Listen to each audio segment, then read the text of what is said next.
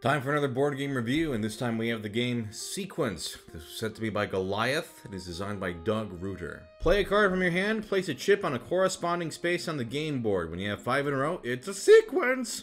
Learn to block your opponents, remove their chips. Watch out for the jacks, they're wild. With a little strategy and a little luck, you're a winner! Let me show you how to play. So in Sequence, uh, your goal is to get two sequences before your opponent, or opponents, depending on how many people you're playing with. Uh, a sequence is a connected series of five of the same color marker chip in a straight line, either up, down, across, or diagonally on this big board here. Each player gets a certain number of cards in their hand. In a two-player game, it's seven cards each. And then on your turn, what you do is you play a card and put a chip on the corresponding card on the board.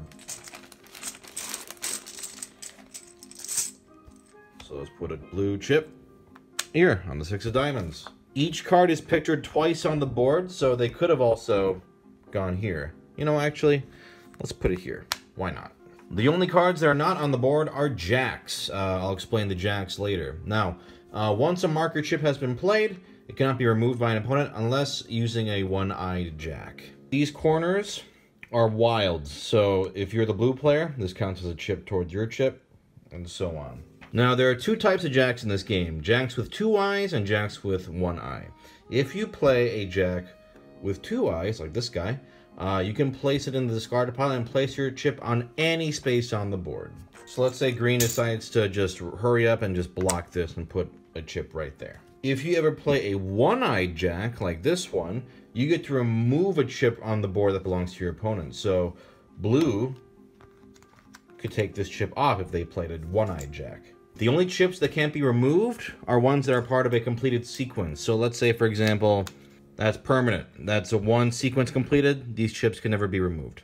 Now, if you have a card in your hand which does not have an open space, like here you can see the Ace of Clubs has uh, chips on it already, uh, you can announce that you are holding a dead card, and you may turn it in for a new card, um, once, once per turn.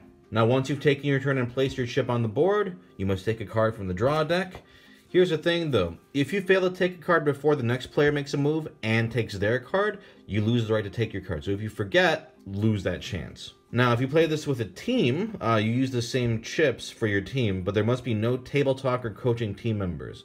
Uh, you can't say anything that alerts your teammates to uh, what you're going to do, uh, and if that ever happens, uh, every member of that team must forfeit one card of their choice from their hand and put it in the discard pile. If you ever run out of cards uh, in the draw deck, you shuffle the discard pile and create a new deck, and you just keep going. You just keep placing chips for cards until a team makes two sequences. You could actually use chips of the same sequence in another sequence. So this could be a win right here, is if you had two sequences like that. Otherwise, that's pretty much it. Just play cards from your hand and try to get five in a row twice. So this is essentially just glorified, randomized Gomoku, or Connect 5. The box says, it's fun, it's challenging, it's exciting, it's sequence. Well, one of those things is true. It's certainly sequence. Uh, literally all you're doing is drawing cards and hoping you get the right ones for sequences. Sure, there's some quote-unquote defense and attacking you can do with jacks, but even those are just if you're lucky enough to randomly draw a jack. Otherwise, all you're doing in this game is keeping track of where your closest sequence chances are and which cards are dead. But hey, if you don't draw the cards you need, you're fucked. That's the game. The best thing you can get out of this box is you get two full decks of cards and some chips. Maybe you can play a game that's fun instead. Uh, otherwise, uh, I cannot recommend this over just a classic game of Gomoku. Just five, five stone is 10 times more fun than this because that at least has light strategy that's within your control. You have agency in that game. In this game, you just draw cards and hope you can make five in a row with them.